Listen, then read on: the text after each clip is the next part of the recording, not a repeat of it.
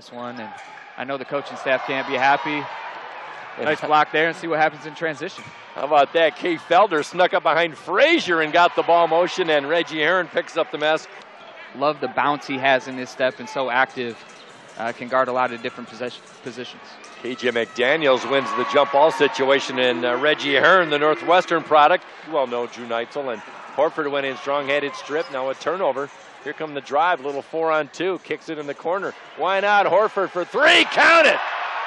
Oh! To get him going on the offensive end. Now a steal by Felder, chased by Shaquille Thomas. Pump fakes up, leans, shot rejected. Inside dish to Hearn for the easy basket. Felder with a nice assist. And the late one, Agua, Cali- Agua Caliente hosting Northern Arizona.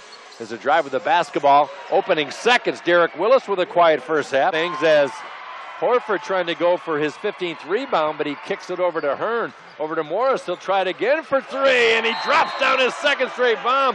How about that? The Wisconsin to their lowest point total of the season at 78 points.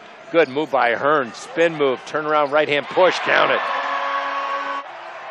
And a steal by the drive. Streaking is Hearn up with the right hand, and the drive take the lead. Well, that's the effort the Grand Rapids Drive staff was looking for early in this game.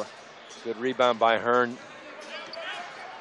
Kay Felder on the move, perpendicular on a streaking Reggie Hearn with a spin move, reverse layup. Grand Rapids, is any indication, is very solid and gets a lot of support inside. Seven on the shot clock, streaking. Reggie Hearn has benefited from some good teammates feeding him inside.